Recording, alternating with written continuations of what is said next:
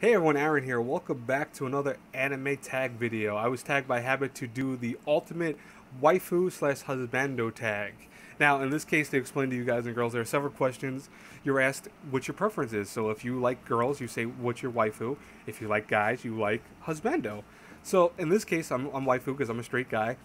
And I'll tell you this right now, this was tough. This was a tough, it's still a kind of tough tag. Like, I had to do this thing a few times already. And you know, it's the thing is that you have to sit down and really think who would be your ultimate wife or husbando. You have to think what what will make them be your ideal one. And so I sat down. I know a lot of people thought they knew the answer to this already because I know a lot of people were thinking Yuko from um, Dust Made Amnesia or Senjougahara. And you know, I, I thought, you know, but I love those girls, but who do I really love them as ultimate waifu material? and I know you know maybe you shouldn't take this this tag so seriously, but I, I, I wanted to take it as a fun thing, so I did think of the answer seriously. So my answer and the first question is who is your waifu slash husbando? For me, Mizuho Kazami. Second question, where are they from? They're from Please Teacher slash Onegai Teacher.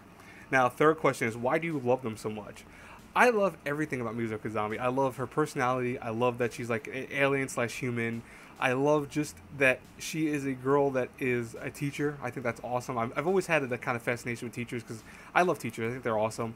Um, but I loved her character. I love how she kind of gets she gets angry, but at the same time she's still cutesy about herself. I like how she's a little d- ditzy a little bit sometimes. I like how she's serious when she has to be and not serious when she doesn't have to be. That she still doesn't know everything about the human race because she's, uh, of course, an alien first and foremost. But I, I love her character. I really do. So honestly, you know, Mizuho Kazami, if I really sat down and thought about it, she would be my ultimate ultimate waifu. Now, the next question was when is their birthday?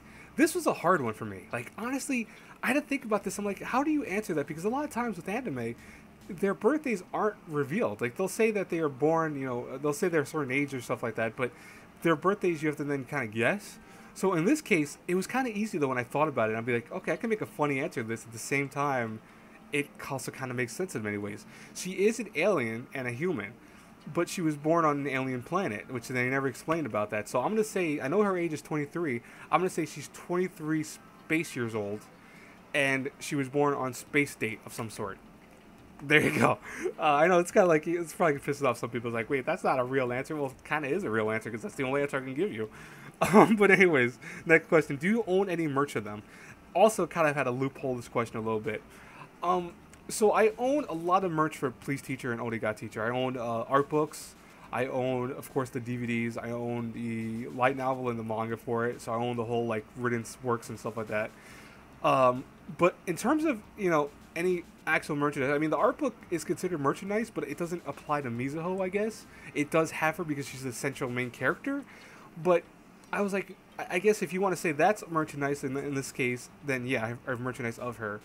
But in terms of merchandise for the character by itself, like statues or figurines or plushies, I don't own any of that for her.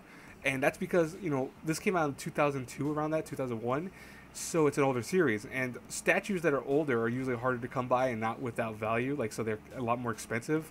Um, in her case most of her statues can be anywhere from $90 to like 100 to $300 i've seen for her. So yeah i kind of don't want to spend that much money on a statue of her. I mean if they were cheaper like in the $30 range i'd be okay with that but at the range of how much it is i'm like no that's too much but so i don't own merch of her specifically but i own merch of the series so i mean kind of all right, final question is who is your second or who would be your secondary husband or waifu? In my case, it'd be, of course, Senjougahara from Bakemonogatari.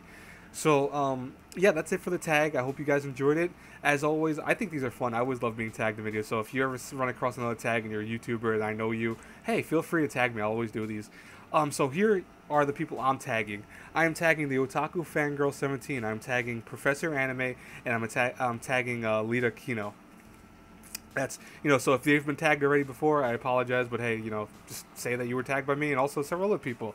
Because uh, i know a few people always get tagged by more, more than one person and i always feel bad when i'm tagging them and I'm like oh someone tagged you already? Oh oops my, my apologies. But you know there's no rush guys. You can do it whenever uh, in your case guy and girl or guy and girls because I, I mean, I think I was Professor Anime is the only guy I actually mentioned in that whole group.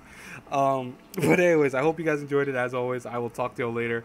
If you haven't checked out my manga tag, I don't know if I said this already in this take. Um, if you haven't checked out my manga tag, I'll leave a description description box below for that tag. But yeah, have a great day, everyone. Bye bye.